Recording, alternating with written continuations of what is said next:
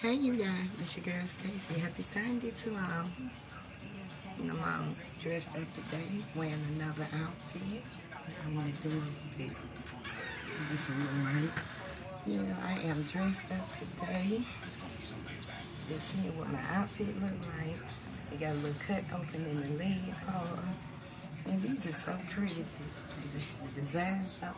See, the legs open up right here. These are so beautiful. I like these.